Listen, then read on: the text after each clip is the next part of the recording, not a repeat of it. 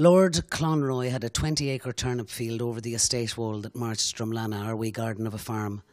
The turnips were long since dug by squads of men to feed sheep and bullocks. Twice the mother let me out to cross the wall and glean at night. Each time I came back with a bag of crow pecked, half frosted roots. The mother fried them with a little pig fat. They were so delicious they made our heads light. Each time in the black dark, I could hear the German wolf dogs over a mile away up at the big house. They were kept in a special yard alongside the prize cattle and sheep, penned in every night for fear the gangs of ribbon men would slash their tendons. The third time out, I got braver. There was a moon, and I went a long way from the estate wall out into the middle of the field I was hawking and gathering rightly when I heard first the chains and then the growling of wolf dogs. They must have smelled me, and for a few seconds of terror my heart stopped entirely. I could hear a henchman shouting, Go on, go on, get him, boy, get him! I knew that Wishy Mulligan's throat was ripped out by those dogs. Then I was running, as I'd never run in my life, and was over that wall a brave few minutes before the dogs came howling up to where I'd crossed. The fright was bad, but the loss of the turnips was worse. The mother had to hear all and said she'd have near died of shame if one of her daughters was caught clawing like a starved rat in the dark of an empty landlord's turnip field. Ruth McCabe there reading from Tales from the Poorhouse by Eugene McCabe. Eugene, um, tell me about those pieces, those stories in, in Tales from the Poorhouse, uh, published by the Gallery Press and uh, quite, a, quite a remarkable collection. I felt I had to write about it because it's not generally known that Fermanagh and around this area, the Clones Poorhouse was almost on a par with Skibbereen. And the more I read and the more I, more I heard, I thought, I'll try something myself. In fact, people have said I made a mistake in writing short stories, that I should have linked them all together into a novel. But um, they are slightly connected in that you hear about one character or another, but it's not a novel. They are short stories. I suppose as well, in a way, it's reflecting the fragmentation of history, uh, because sometimes it's it's hard to to piece together a, a clear, coherent narrative out of these splintered memories. You're quite right. Yeah, it is very, very hard. Did you hear some of those stories from from locals, or was it more from your own research? No, that's research and imagination. Um, the running, the climbing over the wall, uh, Grace running, you might remember, to get the sixpences and all that. That was a very brief excerpt that I read in something else in my research. And I made that into something quite big. And I have read that, and it would have been far too long for Ruth to read. Um, But it's a very yes, I, the, the answer is yes. I did pick up things here and there in my reading that were not from my imagination, but they're all tied together with my imagination, you know? Yeah, the glue that binds. Yeah. Um, take me back, Eugene. You, you, you, your life in writing. Uh, when when did you begin to write with, I was a seriousness of literary in, intent? Well, I think around the age of 11, 12, my father told me that they'd never have got through the famine without the Scotch mill. We had a Scotch mill at the home place, Corravilla. And um, I suppose people brought flax along and they were paid money for it, which was a very big thing. And there was a seven boys, that sounds a bit odd, I know, and two girls, and they all had to leave at 14. They understood this, out into the world, and the girls got till they were 18 into service. That's the way it worked. And um, the house, unfortunately, has fallen in now. But that story of getting through the famine was one of the things that initiated the stories that I wrote. I was aware that it was also in Cavan. And was that that sense of, of history in the landscape one of the things that sparked you into writing in general? Well, the landscape has a lot to do. I think if you, and as you have read Death and Nightingales and the stories and that, the landscape plays a huge part in the, it's almost as big a part as the characters. Um, and that is why it's, it's, it's the quotation that you mentioned from Camus, you know, uh, which I can't just remember off by heart. Uh, it was the, the quotation you had um, you used in Yeah. for heaven lies about us, which is Yeah. if there is a sin against life, it is not perhaps so much to despair of life as to hope for another life and to lose sight of the implacable grandeur of this one. of this one. And this is, and, and for me, that's landscape. How does Keats begin his poem? Truth is beauty, beauty is truth. That is all we know or need to know. Uh, and it is the, the beauty of landscape. And we, it's, Monaghan is not unsung because of Pa- Patrick Kavanagh, but I have set all, nearly all my writing in Fermanagh.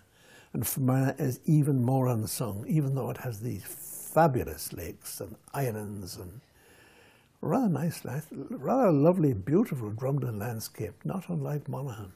But it's not celebrated.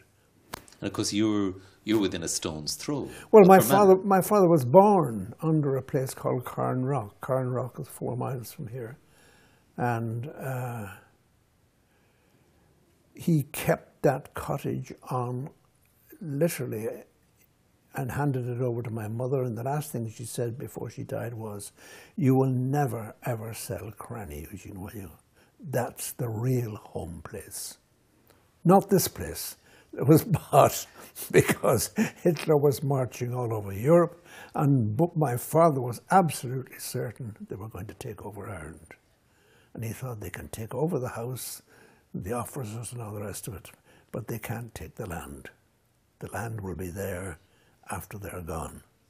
That was his, which is how I come to be here. I didn't. I, I didn't earn this through the sweat of my brow. Of course, I didn't, or through the Riordans, you know.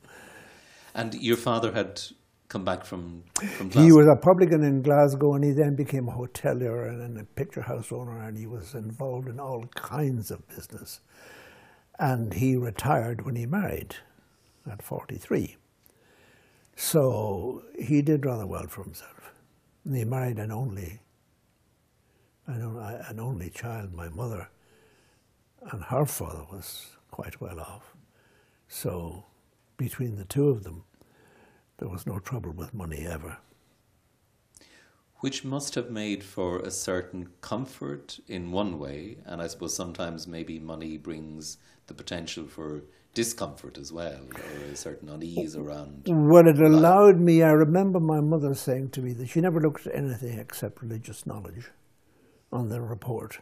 The rest of it didn't matter, as long as your religious knowledge is good. And it was always five, like, you know. I think everybody in the school got a five, because we were all daily math scores, we had to be, you know. Um, And what did you had? What was it? Four four sisters and one. I have four, there was four, there was four, the, my three, three, three of my sisters entered the Joseph Cluny order, and the girl who worked there, well, Margaret Smith, she entered, and four of them died of cancer, which is incredible. I mean, I've heard about one in three. You know, you don't have to ask when they hear about somebody going for tests. But for four out of one house, four girls to die from cancer is extraordinary. Um, but three of those three of your sisters then became became nuns. They did. I wondered, did that at all influence the writing of, of that wonderful novella, The Love of Sisters? Oh, with This very tender portrayal of nuns. Well, the number of times I visited and got to know, except of course that Cluny was an open order. It, they were teachers, and there wasn't this extraordinary silence that there was in the poor Clares. Uh, but I knew all about it because we heard plenty of talk about it. And I think the Cistercians are the same, Cistercian nuns. Um, I wouldn't, I wouldn't have written, I, I, I wouldn't have set the opening of that story if I think my sisters weren't nuns and I hadn't such a knowledge of, of nunhood, if there is such and, a word. And there's wonderful humanity in in your portrayal of Martha. the nuns and, and the life in the convent. Yes. And that wonderful nun. Yeah. The garden and yeah. the earthiness. And the old lady at the the old lady who's retired and is a doorkeeper and it, it, it, the details I the details I like a lot. I like that book a lot. It's terrific. Based, I think, on was it based on on a short story originally? No, no, it, it was no, it was. No, a, it, it came. It was written as a, as, as, a novella, which I think is nearly my favourite form. Uh, it's that, a wonderful form. It is a good form. It's a wonderful form. It's Chekhov was Chekhov's favourite form. His, his greatest stories are in novella form. He swore he'd never write a novel, but The Duel, if you've read it, that's D-U-E-L, is a novel. It's about 150 pages, which I would call a novel, you know. Well, again, I mean, I, I always have this difficulty. I think, how do we distinguish the novella from the novel? Because it, I would consider The Love of Sisters to be a novel, a, a short novel. novel. Yes. Uh, maybe that is the definition of a novella. Yes, along as a piece of string. It's between, I think a novella is between 20 and 30,000 words. Now, you I, I wouldn't be strict about that, but if there was prizes going, I'm sure they would allow a little leeway. Uh, but it is a wonderful form. It's, it's, it's, it's not daunting. A novel is daunting. A play is terrifying. That's why I've written oh, oh, so few of them. Uh, you know that yourself. I do. How difficult it is. How terrifying it can be. Yeah. Um, King of the Castle, speaking of plays. Yes. Um, uh, currently in a new production from Druid. Yes. Um, that play, Eugene, uh, you set it in in Leitrim. Yes. Um, but I think the story has its roots. Curiously, people from Leitrim have come up, and I thought they were going to say something nice to me. but in fact, they were saying, why didn't you set it in your own county? You know what I mean? And in fact, it was set. It came from the Bragan Mountains, which are, which are outside, um, which run all the way from Carnrock all the way to Monaghan. And a mountain is reckoned, it has to be a thousand feet. And Carnrock is 999 feet. And I was always terribly disappointed about that. It didn't actually make the mountain. But it is mountainous country. And that's really the country, that in my imagination is where it was. Why Leitrim?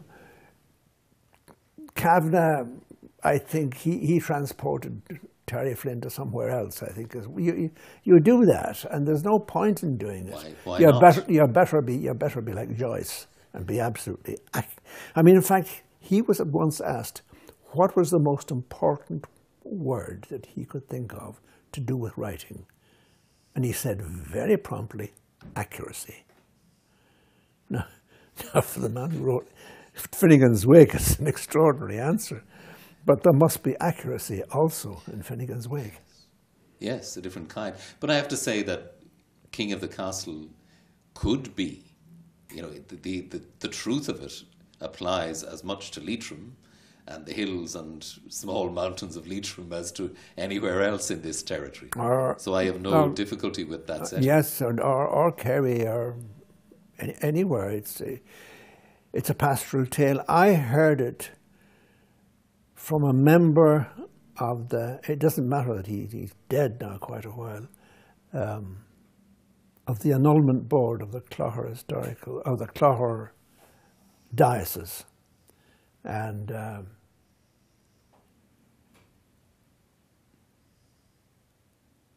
I followed it, the truth of it, which was a man who had done well for himself. And like many men in those days, they had to wait to marry, and he was almost he was almost too old when he married. And then he was being mocked by his neighbours, and he didn't. That got to him, and somehow he had this brainstorm of an idea, which which ruined him. But in fact, it ended she, very understandably, in the story, the way he told me, she left that night and went to her sister's. I tried that ending, and it didn't work. It, it, we know she's going. There go, me or you, it doesn't matter now. I mean, that, that line is in it. So we know that she's not going to stay on with him. And Garry said, no, absolutely. She had read both of them and she was against the extended ending. This of is her Garry. Hynes, the director of the, the, Yeah. production. Yeah. Because of course there's this great, this great cruelty at work as well. There the is play. cruelty at work. There is. Uh, there is. Um, and she lies. She lies when, when she says, and maybe he could. When she says, I think she says that to Scober. And then I think she, li- I'm not quite sure how she lies, but she lies about the whole business of not conceiving. What was the response to that play when it was first staged? Well, I can remember I was up at the back of the Gaiety, and naturally I was in hiding. but I still had to end up on the stage. I don't think they do that anymore, do they? no, uh, No, they don't. ever, Thanks be to. God. No. Um, I remember it was the same then as now. The theatre is largely composed of women now. I don't know what the percentage is, but women are largely theatre goers. And I, I could see that they were sitting in silence. I could see an occasional man threw them laughing because he understood exactly what was going on. And at the end, I couldn't see one of them clapping. Now, that was nearly 60 years ago. Uh, now, whether they'll be clapping this time or not, but I think the women of Ireland have grown up a little bit more. And the men. And uh, I mean, they're not shockable. Yeah, no. No, not from what you see on television and stuff. Couldn't be. How did you How did you learn the art of stagecraft? Did you did you go to the theatre a lot? Did you read plays, or did some of that come almost by by instinct and observation? Well, I did have six months attached to the Citizens Theatre in Glasgow because I was born in Scotland, the first 10 years there, and Guthrie was kind enough to write to the Arts Council and say this lad has been born in Scotland and is entitled to an Arts Council grant. And we got that, which very much helped. And we were there, I was there for six months with Margot and the three children. Or the four children at that time, four children, yeah. Um, but how did I learn it? I was al- allowed into both, it's the equivalent of the Peacock, it was called the Close and the Citizens. And uh, there was one story about that that it's not relevant to me, but it's, it's, it's relevant to the whole thing of theatre. And Glasgow must have been very offended because, as you know, his grandfather or great grandfather is in the main street beside Walter Scott, Tyrone Guthrie's. And he was asked along to a very big benefit dinner where he began his speech, which was very brief, by saying he noticed a lot of Rolls Royces outside. And just by glancing around, I can see that the women are bedecked with jewellery. I was at a production, he said, of um, A Midsummer Night's Tale, and it was absolutely brilliant. And there were more people on the stage than in the audience. So I would say, culturally, Glasgow is the slum of, of the theatrical world. Well, did he sit down to a silence? A chilly I- silence, I'd and say. I, I asked him. He said I might have had a whiskey too much, but he was utterly indifferent, utterly indifferent to to that reaction. And It he did like to shock. Well, he was telling it like it was. If the Yeah. if the, the theatre was empty, That's quite. the- I mean, the the Lord, the Lord, then? the Lord Mayor was there with his chains, and all the dignitaries and everything, and he was there as the theatre director, and he had worked a lot in Scotland, and he loved Scotland, and he was just deeply offended by the fact that they couldn't be bothered going into their only main theatre. I suppose King of the Castle has become your best known play, but there are other fine plays as well, like um, you know, Pull Down a Horseman and Gale Day and the others. And um, I presume it'd be be good to see some of those back in production. I I would like to. Well, well, um, amateurs here put on um, pull down a horseman, and they brought that all over the country, and I think it did very well for them. And I think I went over to Monaghan with my brother-in-law from Canada, and we couldn't get in. The girl at the desk didn't know who I was. And she said, I'm sorry, sir, it's not even standing room. and this was in the courthouse in Monaghan. So obviously, people were in, interested in the play. Yeah. But professionally, it hasn't been done since, oh, the late 60s, you know. Uh, a time. Oh, this, I time know exactly when it was done. 66 was a celebration, wasn't it? Yeah. Yeah. We're here, Eugene, uh, in your house, the farm around, um, and I suppose like like McGahern, over the decades you combined the the life of, of writer and farmer. Yes. Um, was the farming a source of inspiration for the writing? Not just the land now, but but the actual physical work of of working the land. Did that in turn at times inspire the words? Now, I wrote juvenilia, mainly Keatsian poetry. Couldn't call it poetry, would call it verse, until I suddenly realized I wasn't a poet. And then when I was 20, I was lucky enough to get a story published with David Marcus in Irish Writing. Now, I can remember that as being the most exciting acceptance ever. It really meant that somebody like David Marcus and Terence Smith, who was brilliant, that they recognized here is something. And from then on, I thought, well, at that time, we were courting in Cork. She went up to Dublin to be an air airport hostess. And um, at 24, I got married because this farm was here.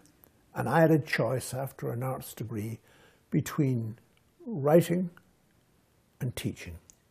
And I had no hesitation about which I wanted to do. I had no idea of the slavery of that, especially milking cows. And I went on. Sometimes I took a gap. There was a gap. The longest gap was 15 years between writing anything. And it didn't bother me. It- people say you, ha- you have to keep writing all the time. You know, to start out a novel every year in order to keep the pen unrusty. And I, I simply don't believe that. I think if you can write, you can write. And I picked it up and I wrote Death of Nightingales long, long after I'd begun writing. And um, Out Tale and uh, Love of the Sisters, I, I wrote very late in life. Uh, and at the moment, I'm writing again a novel, and it's always a good sign when you waken up when you have an idea. You know it well. When you're involved in something, when you drop something, you think, oh, it's no good, you know. But if you wake up thinking, I know exactly what I'm going to do, or if you go to bed, or Scott Fitzgerald's advice was always stop when it's going well. Good, because then you know you can go to bed and you'll get up in the morning and you can go on. Um, you learn an awful lot. And Somerset Maugham's Summing Up, I don't know if you've ever read it.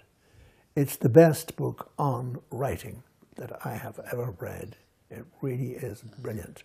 Now, I know he's regarded as, well, he made. Oh, at his best, he was terrific. I mean, he had three plays running in the West End, and uh, his short stories are.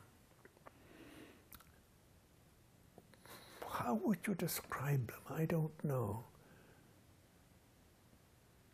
Craft. They are very crafty stories, well crafted, but not one of them like Chekhov or Maupassant that actually jump off the page and you remember them for the rest of your life or seen them. They, they are just clever, crafty stories. And, uh, but he made millions upon millions upon millions out of them, you know. You'd mentioned Chekhov before. Um, You're my patron saint. good patron saint. I keep going back to Chekhov. If I was anywhere and I'd pick up, I'd pick up a story by Chekhov. I just keep reading. Chekhov and Tolstoy are my two heroes. The thing about Tolstoy is he has no humor. Uh, I've never heard anybody say that. But he, if you think about it, there's immense irony, immense irony all the way through. But no real humor. Chekhov's bursting with humor. Any, every chance he gets, there's something in it that makes you laugh, you know. It's really, really good. Those little wonderful stabs of humour. That, Yes, yeah, Carry lifts, lifts it, yeah. And it's in his plays too. And he's not, it's not as if he's poking fun at people. He's actually, he's, he's actually doing what Joyce suggested. He's being accurate. One of the first to be really accurate. I mean, Ibsen's plays, he didn't like Ibsen, I know that. And I know why he didn't like them, because Ibsen took about three years to write a play, and they were crafted, crafted, crafted. Now, Chekhov wrote more quickly. In fact, he kept the family going in a Moscow flat, writing at the edge of a table. Now, can you imagine that with people all around you and eating the samovar going? And he just wrote these things and sent them off and thought nothing of them because they were funny.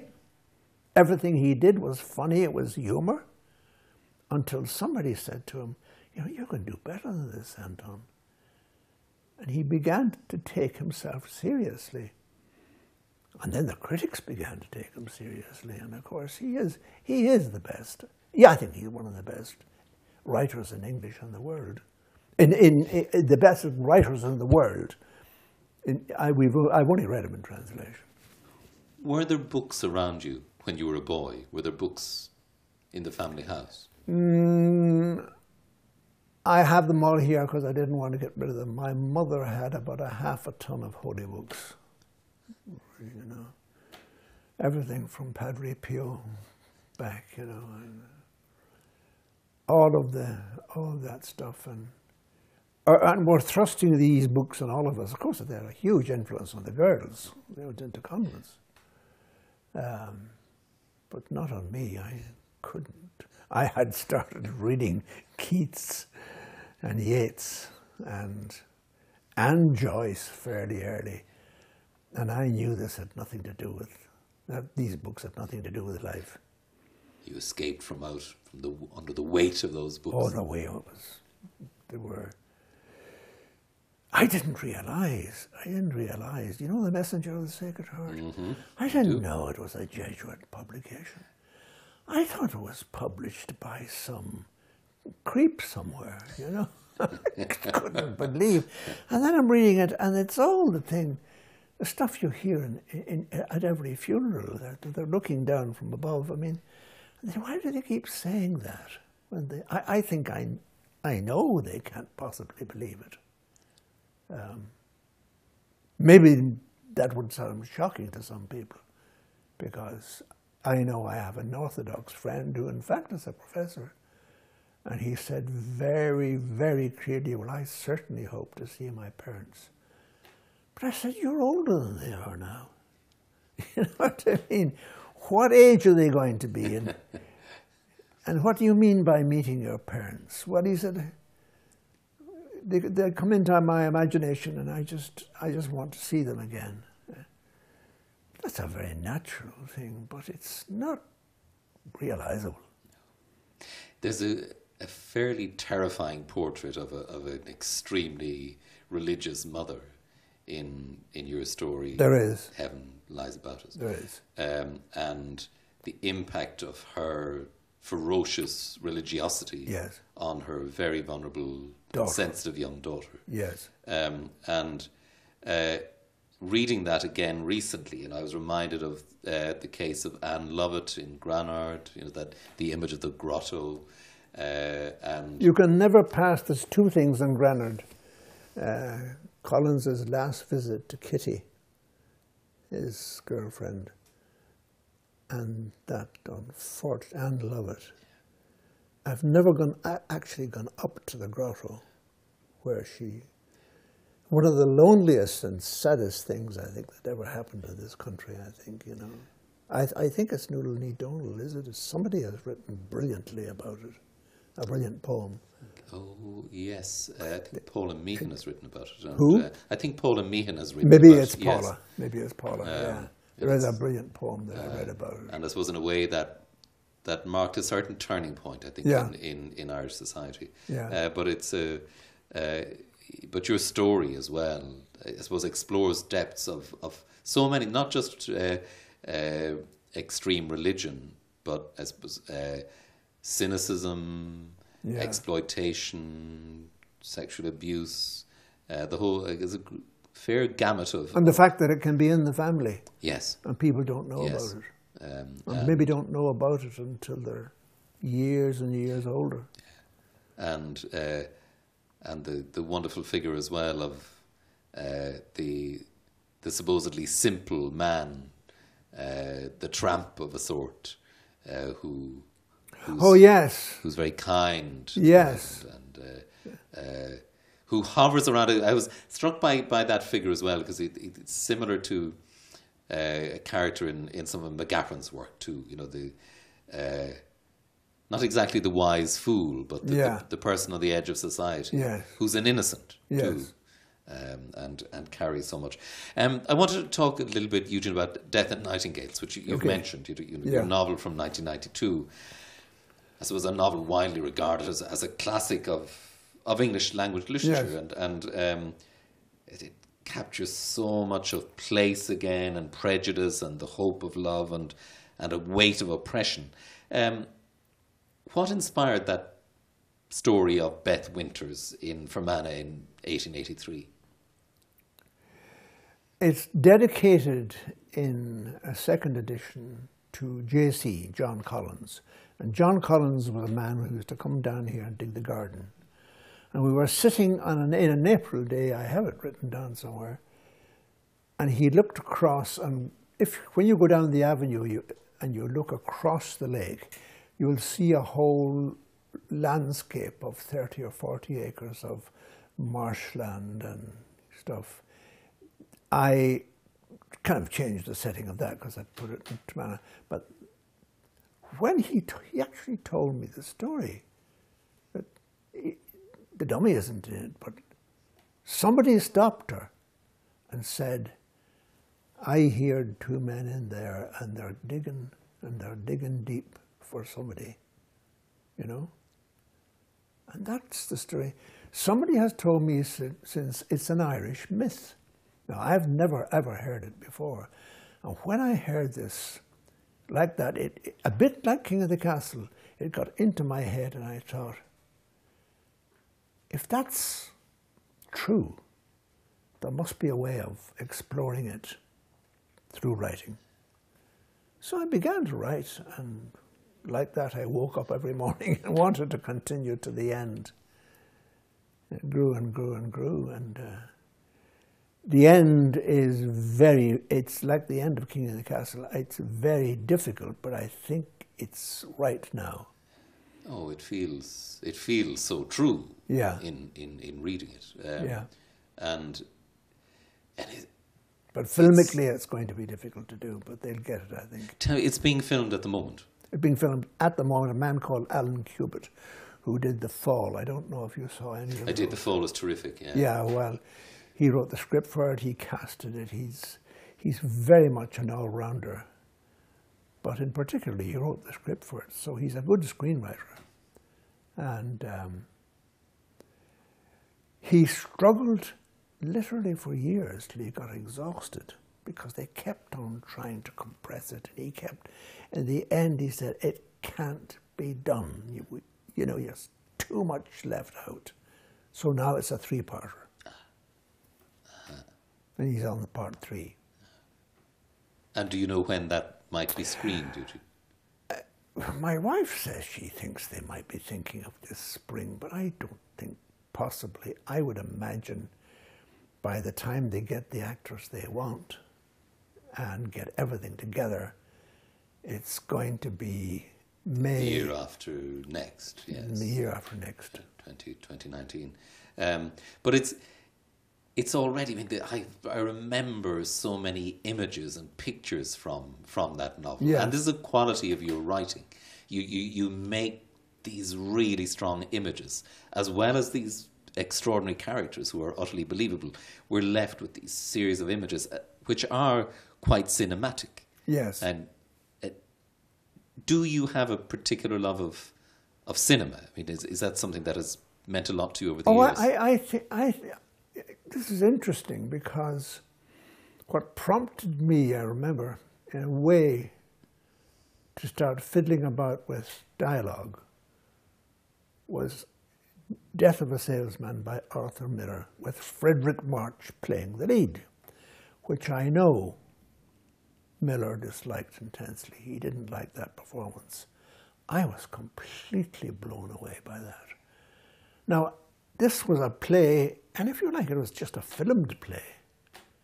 But it was so powerful and so true that that, in a way, was um, like a jumping board for me to begin trying to write plays. so that, in a sense, something from from the screen. Something from the screen prompted me in. to write plays, yeah. Because I knew there wasn't a hope in hell. I mean, nobody writes.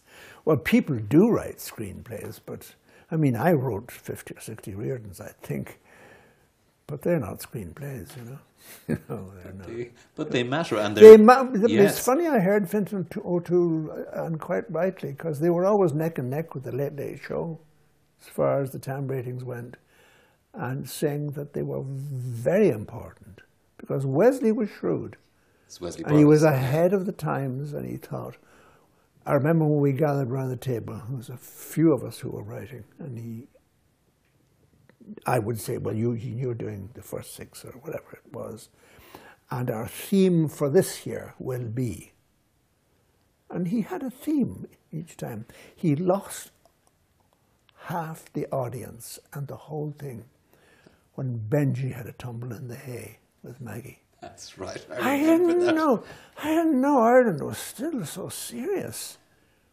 He was up there on a pedestal, Benji, and when he did this terrible thing in the hay, that was the end of him.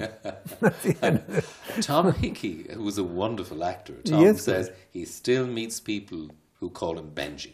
And Yeah. That's the impact Yeah. the Riordans had. Yeah, Um, and, uh, you know, people talk a lot about The Archers, which is a terrific series on, on BBC Radio 4. It's Yeah. been running, I think, for maybe 60 years. Um, but the Riordans, I think, had a profound impact in terms of people looking at their own lives or seeing a reflection of their own lives and how things might change. that's the way soap works. Yeah, you can write. You could write it without. You don't wake up thinking of what I'm going to write next. You just sit down and write it. Uh, I we in this house, like Margot and I always called it Benji and the bus. Do you remember when he was on strike with Tom? He became a bus driver, a school bus driver, and that caused great tension. And I say great humour because everybody understands the school bus, but we always called it Benji and the bus. We're very close to the to the border here, Eugene. Yes. Um, and I wonder, you know, and I, of course, the border is now almost the new centre of Europe. Yes. We never thought we'd live to see the day Yeah. that it would be the centre of Europe. But um, I wonder, in your observation and experience, has that sometimes visible, mostly unseen political fissure shaped lives and people around here? Well, I think it had. Well, I also had a a little bit the way I felt I had to write about the famine. I also felt I had to write. I had to write about what was going on around me. People were saying it to me. Usually, you live there in the middle of it. You should write about it. And I said, ah, you know, uh, it has let it be distilled, and I'll write it afterwards. And um, then I was given the example of O'Casey writing right those three wonderful rockets uh, that were written at the time. Um, I this is how this is how it became filmed. It's a, it's an ex- rather weird story. Wesley, because he knew me and because I was doing the Riordans, he was in Eason's and he picked up John Ryan's. I think it's was it the Dubliner. It was a high thing, and I had sent him the story of cancer. And Wesley said, I just opened at the beginning and I just kept reading to the end. And I put it down, and I'm sorry to tell you, Eugene, I didn't buy it. but I went back to RT and I said, You have to make this. And then from that, uh, you had again, it's the novella thing. Yes. Another story growing, and then another story growing, which make a kind of novel, you know? So we got that trilogy. I mean, Yeah. I remember seeing those on Yeah. on television Yes. when I was a lad in Leitrim, in Yes. probably around '77, I think it might have Yeah. been. Uh, and they had a huge impact on me. Yeah. Um, in the the quality of the writing, the quality of characterization, of filming, and again this this confrontation with what was going on around Yes. us. Uh, had it really was really important for me, and it it, it it was almost like a liberation somehow to see Right. to see this on the screen. Okay. Um, and I think it was a really important moment in in Irish television as well. Um, in uh, what were you? Was your location here important for Oh, absolutely. for that? I don't think I could have written it if I wasn't here because, again, it, there were just little nuggets we heard from a woman who came up to work about a quarrel between a mother and a father about their only son. And they were fighting about the fact that he'd be getting money going in the UDR. And I thought this was incredibly interesting. This makes the whole of heritage. And uh, I thought, what a sad thing for a lad to, have to put on a uniform and go out and stop his neighbours, you know. Um, so that, that that's how that second one came. And the third one grew out of that. Victims grew out of that because people were saying, you, you haven't really yet dealt with the historical where did it all come from? It came from the Norman invasion and it came from the takeover of all the landlords. And I thought, I think it was before. Was he was Sir Robert Stronge. He was a speaker in the Northern Parliament. And they, I think they came into his house and they murdered both him and his son, which was a terrible shock after I'd written the story, you know. And I'd actually met him, met him in Guthrie's. And, Very, very, very bland, charming man, you know. uh, sometimes literature, art, almost prefigures Precedes, life. it does, it does, yeah. and, and events Yeah. in, in life. Um, Another of your stories that I suppose has become quite celebrated is is um, music at Annahullion. And um, Colm Tóibín uh, Yes. has reads that. He's a passionate advocate of your Yes. work and, and reads that story. Uh, I think it's on the Guardian literary That's website. right. Uh, and I believe his reading of that story has proven more popular than Hemingway. it has. Some girl on the phone told me.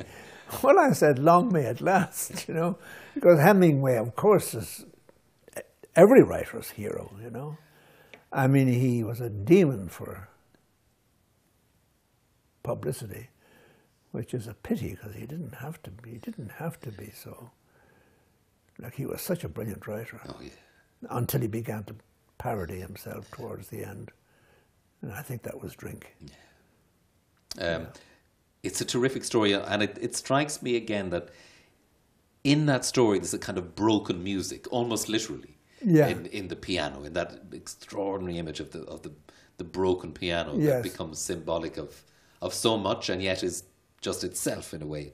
Uh, and you get music as well in Death and Nightingales. You know, Yes. Billy Winters trying to She's pick out the playing tunes the piano, the yes. piano. Gortnamona, yeah. one and Percy French in Yeah. Enniskillen in 1883. Um, All that is done. All that was left out. You see, they had to leave it out. If you want to make a film, and again, I'm, I, I- should always say movie because so many people have said Irish people can't say film properly. We say it's it's F I L L U M film. Film. Yeah. yeah. instead of film. Um, but the, the music, uh, has music been an inspiration Well, to my you? mother had an LR, LRAM, that would mean a license of the Royal Academy, of Music, and she went backstage and met Paderewski, who was then Prime Minister of Poland, because her teacher, uh, Mr. Duncan, um, was a, a celebrated pianist in Glasgow and was allowed backstage and took his favourite pupil with him.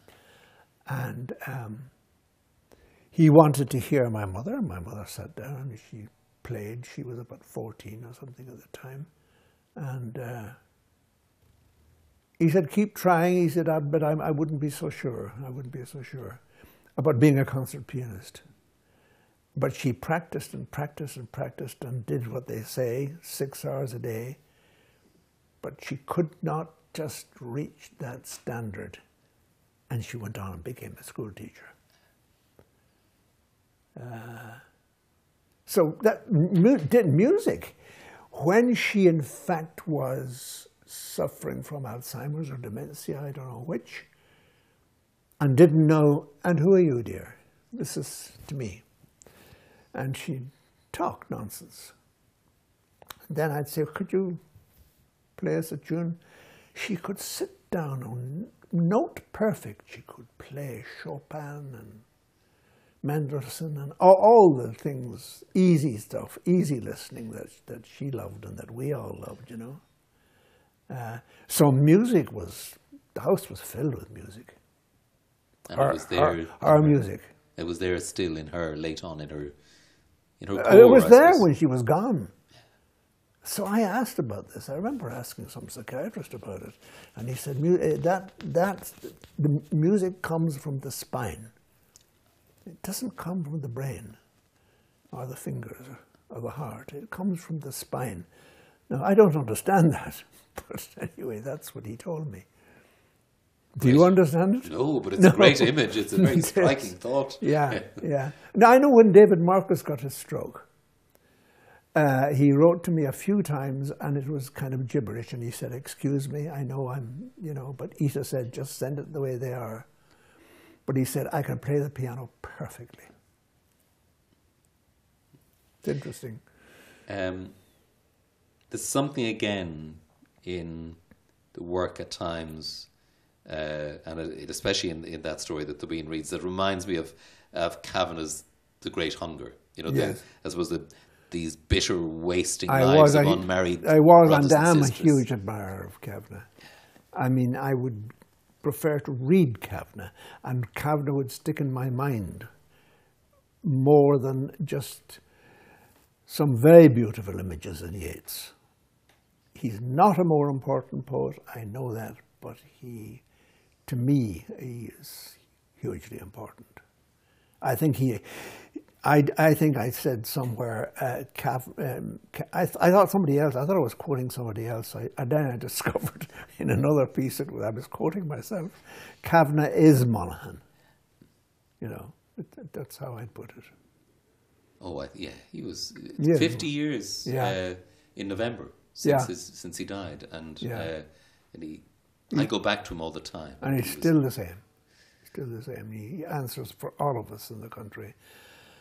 I mean, the, name- the closing, the last lines of it are just heartbreaking, you know, when you think of the anonymous life these people led and were just dropped into their graves, you know, unsung, forgotten. No, I think he did a wonderful thing in that. I mean, I know that he, sailing to Byzantium and, and all the great poems of Yeats are superb, but um, that great hunger is is an epic masterpiece of pastoral life. I don't think it. I mean, maybe, maybe McGahern's uh, that they shall face the rising sun is pretty close to it. It's it's funny that I thought of of of, of writing a novel set, a pastoral novel set in Ireland, and like it was next week, it appeared on the bookshelves. McGahern had written it. Yeah, so so we both we were both obviously very influenced by the all the all the daily work and and, and, and working through working through people, you know. In the King of the Castle, it's there. I know it's very crudely there uh, with the with the country people. Uh, the whole pastoral effect of living amongst people who have some of them have never been to Dublin, you know. And uh, I can slip into dialect very easily. Eugene, this year's um, Iron Mountain Festival has themes, broad themes, I suppose, of, of borders, migration, Yeah. and history. And it, it strikes me that those themes and strands run through your work. Yeah. Um, you know, the, the, the migration that brought the mix of people that we have around here. Yeah. Uh, and the new wave of migration that's changing it again. And the border beside us and the land and, uh, and the history that, that is, again, I mean, around the- us that we live within. McCabe is the most, I think it's the third most common name in Cavan, the sixth in Monaghan. And there isn't a mention of a McCabe till 1400. We came here as hired mercenaries with huge axes. It's the axes, the two axes crossed. I mean, we were, uh, well, judging from my judging from judging from my father's family, big men, and I have a grandson who's six foot six, in proportion, you know. Physically, big men. I'm an, I, my, I, I get my size from my mother. My mother always described herself as a bantam. yeah, yeah. Um, but I wonder if literature is to have any particular role. Um, does it have a role, in a sense, in reminding us of history? You know, of the complexity of history, and also the, I suppose, the deeply individual stories within it, and maybe then it holds the possibility of helping us to reach across borders and, and find a, a common humanity with those who are different to us. Well, in the back, in the back, in the back of the Bloomsbury edition, there was um, I can't think of the. He was a prison guard, a screw they call him. There was a screw who read Death and Nightingales, and he said it had changed his whole outlook to Catholics and the South. And when the editor read this, and he read this comment from this man, he, thought, we have to publish this. So that, that, that is, that's history. And that's literature influencing a man's thinking. You know, he's reading a novel, he knows it's a novel, he knows it's all invented, but there you are. Would you read a poem for us? I could give you, I think, off the cuff. Better again. Yeah. Um, let's ignore the curlew's lament. Now mind the brown hawk motionless above the wood in broken light. The lake a silver blind, below that single yew that's long withstood the storms that hurl and howl from Listener Row to strip the beach and fill the yard with ghosts, invoicing us of what we owe to time. Now winter is marching round Drumard. We log up stoves against the coming cold. Much to live for, still more to, to remember, and try to never talk of growing old. Light in November can catch the glory of summers past, and though God gives no sign, when love is all, there is no final line. Eugene McCabe, thank you so much. Thank you. Thank you, Vincent. Yeah. Eugene, let's, let's hear Ruth again uh, reading from music at Annahullion. Teddy said you remarked a piano at Foster's. Oh God, Annie it and said, I saw it from the road. Liam met another scone before he said, Scrap. I'd say, whole place was read out at the sale. Piano must have been laying about in a pig house or some of them old rotten lofts. That's what Teddy said. A dud. He's right about that anyway. And that's that, Annie thought. Soon they'd all be pensioned. Maybe then she could buy the odd thing. It was up to her to run the house on the milk check. It could be a very small one in winter. She made up by crocheting anything but approach Liam. All afternoon she thought of the piano. In the end, she found herself crying as she needed bread. Here, oh God, she thought, I'm going astray in the head, an old scrap piano, not a body in the house fit to play. And here I am, all snivels over the head of it. She blew her nose and put it out of her head. It was dark when Teddy got back. He smelled of whisky and fags, and his eyes looked bright. Liam didn't look up from the Anglo Celt. Your dinner's all dried up, Annie said. No odds, Teddy said. Liam switched on the wireless for the news. They all listened.